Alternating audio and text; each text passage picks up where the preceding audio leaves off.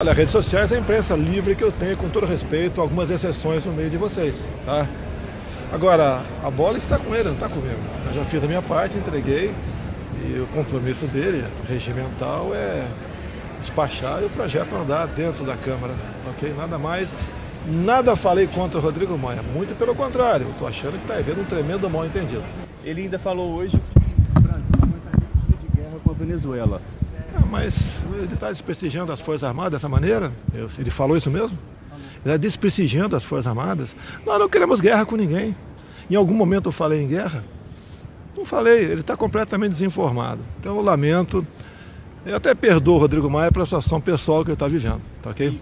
O Brasil está acima dos meus interesses do dele. O Brasil em primeiro lugar. Acordos importantes com o presidente Pinheiro? Sim, pode falar o Pinheiro à vontade. Muitos acordos é, muitas coisas estavam adormecidas, voltamos a discutir e as medidas né, vão ser implementadas rapidamente pelos nossos países. Excelente a passagem por aqui, excelente. Um parceiro importante, o presidente Bolsonaro ou o presidente Pinheira? Sentimos que ele encarna uma esperança em Brasil, que é recuperar a capacidade de desarrollo, crecimiento, luchar com força contra a corrupção, devolverle mais segurança e combatir com mais força a delinquência. Isso é lo que encarna el presidente Bolsonaro en Brasil y hemos podido conversar de muchas cosas. Vamos a enviar simultáneamente a nuestros congresos para que lo aprueben el Tratado de Libre Comercio. Hemos llegado a acuerdos en materia de ciencia, innovación, tecnología, en materia de energías renovables, así que ha sido una visita muy fecunda del presidente Bolsonaro y se lo agradezco sinceramente. Muito obrigado. Sim. Essas duas viagens, qual é o balanço que o senhor faz? Estados Unidos agora Chile? É extremamente positivo, né? É, próximo agora é Israel. Aqui foi excepcional. Eu, eu conheço o Pineira antes ele me conhecer, sempre o admirei.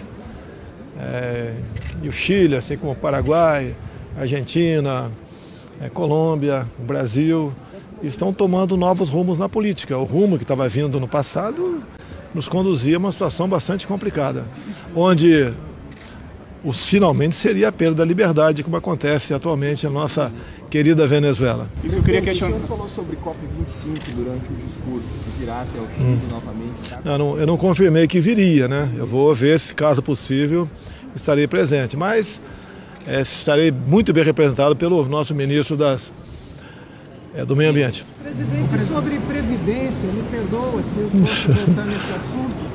Lá em Brasília, enquanto o senhor está aqui, hum. a polêmica segue em relação à articulação, em relação ao presidente da Câmara. Ele chegou a dizer hoje que, é, em relação às declarações do senhor, que ele está convencido da necessidade da reforma. Falta o senhor se convencer.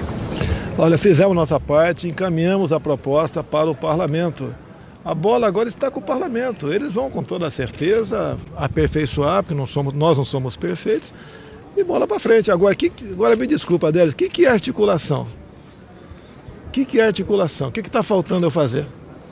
Eu pergunto para vocês o que foi feito no passado.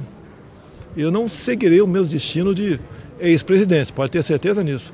Nós todos temos que pensar, desculpa Peneira, tá lá no Brasil, pensar no nosso país. Fortalecer o nosso país. É, não são todos, mas alguns é, não estão acostumados com a nova forma de fazer política a anterior deu errado. E olha onde estão os ex-presidentes. Eu não quero ir para lá, até que não irei para lá por esses mesmos erros, tá? jamais. O Brasil é maior que todos nós. É, o Rodrigo Maia nunca o critiquei. Nas mídias sociais, não, eu não o critiquei, nada isso aconteceu. Eu não sei porquê. Ele, de repente, está se comportando dessa forma um tanto quanto agressivo no tocante à minha pessoa. Falando que seria melhor que o senhor largasse o Twitter a fazer essa articulação pessoalmente assim que voltasse ao Brasil? O Twitter eu uso 20 minutos por dia, não mais do que isso. E através do Twitter, muita coisa a gente consegue é, chegar uma quantidade enorme de pessoas, né? Que pese, em parte, vocês da imprensa estarem bem intencionados. O Twitter é um, um mecanismo que eu acho que todos nós deveríamos é, se preocupar com o Twitter. Eu ainda estou no Facebook. O que está por trás dessas, dessas críticas do presidente da Câmara ao senhor? Olha, eu não quero fazer pré-julgamento de nada, mas você sabe que a temperatura está um pouco alta lá no Senado, ou melhor, um pouco alta no Senado. Eu acho que você é uma pessoa inteligente, Délis. Eu não vou entrar nessa disputa. Somos independentes. Não serei levado para um campo de batalha diferente do meu. Eu respondo pelos meus atos no executivo. O legislativo são eles, o judiciário é o Dias Toffoli. É assim, toca o barco. Isso chama-se democracia. Não quero me arrastar para um campo de batalha que não é o meu.